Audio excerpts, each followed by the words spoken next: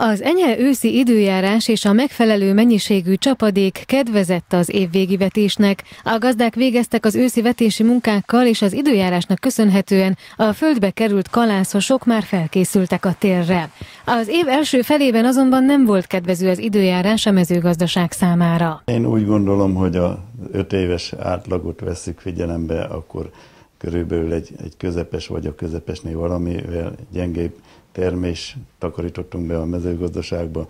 A gabonafélék, a búza, titikálé, rozs, még itt a mi megyénkben nem szenvedett olyan károkat, ugyanis olyan érési fokozatba jött már az asszály, amikor a, a szemek tertek voltak, és én úgy gondolom, hogy még a, a gabonafélékről beszélünk, akkor az átlagtól egy egy jobb minőséget takarítottunk be. Ez az arány itt a mi megyénkben ilyen 50-50 százalék szokott lenni, és most a, a minőség az körülbelül 70 százalék. A étkezési búza termetés körülbelül 30 százalék lett, ami takarmánybúza lett. Rácz Imre elmondta, a gabona félék felvásárlási ára idén az átlag körüli volt. A később érő termények, valamint a gyümölcsök a nyári asszály miatt az átlagostól alacsonyabb bevételeket hoztak a gazdáknak.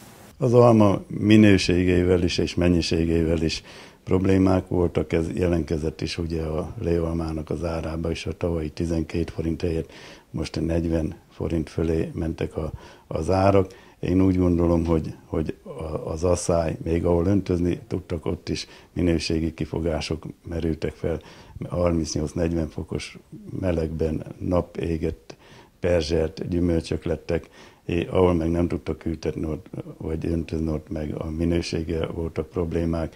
A tavalyi 850-900 ezer tonnás országos mennyiséghez képest én szerintem most a, 450 ezer tonna a megtermet. Itt a megyében 300 ezer tonna alatt dolgoztak fel a feldolgozó üzemek sűrítményt, és szerintem országos szinten körülbelül vagy 150 ezer tonna lehet az, ami hűtőkbe került, vagy őszerétékesítésre.